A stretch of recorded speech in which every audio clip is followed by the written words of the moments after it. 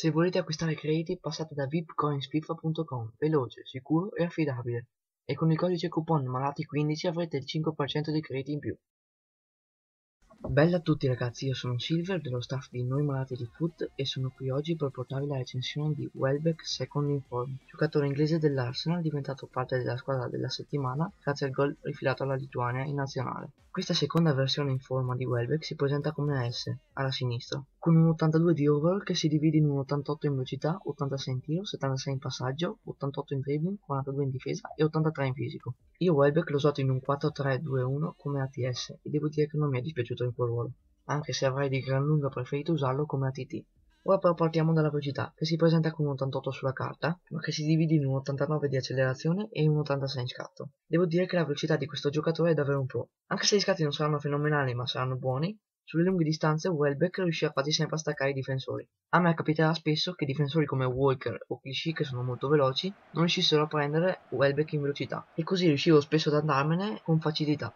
Passiamo al dribbling. Dribbling che si presenta con un 88 sulla carta ma che si divide in un 88 in dribbling, 93 in agilità e 85 in controllo palla. Il dribbling io penso che sia il punto di forza di questo giocatore, che grazie al 93 in agilità riuscirà a fare dei fantastici dribbling e sarà facile scartare gli avversari. Inoltre grazie all'85 in controllo palla riuscirà a tenere sempre il pallone attaccato ai piedi e sarà difficile portarglielo via. Purtroppo il dribbling è penalizzato dalle 3 stelle di mossa abilità, che renderà molto più difficile fare skills con questo giocatore, quindi vi consiglio di dribblare senza fare mossa abilità e poi in fondo con Welbeck secondo me basta girare la levetta e lui dribblerà come se niente fosse. Passiamo al tiro, tiro che si presenta con un 86 sulla carta, ma che si divide in un 86 in finalizzazione, 83 in longshot, 87 in rigori, 86 in potenza tiro 64 in tiro al giro, 99 in precisione di testa, 65 in punizioni. Il tiro è sottomente un po' di questo giocatore. Grazie all'86 in finalizzazione, Welbeck sbaglierà poco davanti alla porta e grazie all'86 in potenza tiro fa dei tiri molto forti e difficili da parare. A Welbeck io ho fatto battere qualche rigore e non ne ha mai sbagliato uno, quindi devo dire che è un buon rigorista. Ovviamente questo giocatore non è adatto a battere le punizioni, in quanto ha solo un 65 in precisione, e quindi vi consiglio di non usarlo per battere le punizioni. Io l'ho usato per batterne un paio e non ha mai centrato la porta. Purtroppo per il 64 di tiro a giro non farà dei bei tiri ad effetto, anzi farà molta fatica devo dire a piazzarla e tenerla bassa. A me capitava spesso di fare dei piazzati molto alti, che non c'entravano mai la porta. Grazie al 99 di precisione di testa Welbeck farà dei colpi di testa perfetti, anche se è penalizzato dal suo ruolo in quanto un ATS è raro che colpisca di testa.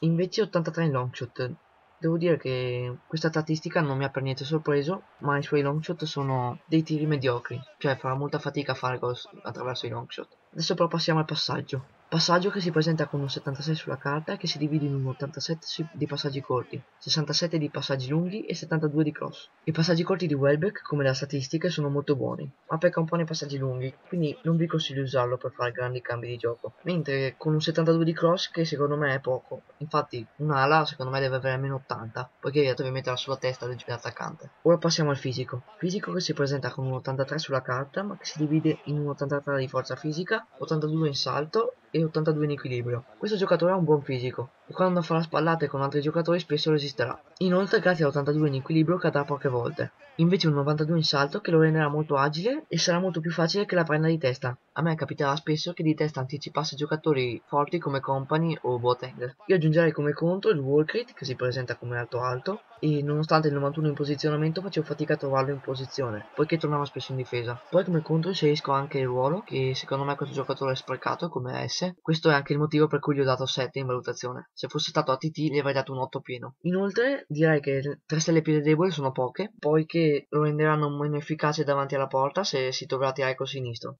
Bene, io concludo qui la recensione di Danny Welbeck Sif. Lasciate un mi piace, iscrivetevi al canale e commentate dicendo cosa ne pensate di Welbeck Sif. Qui da Silver è tutto, bella!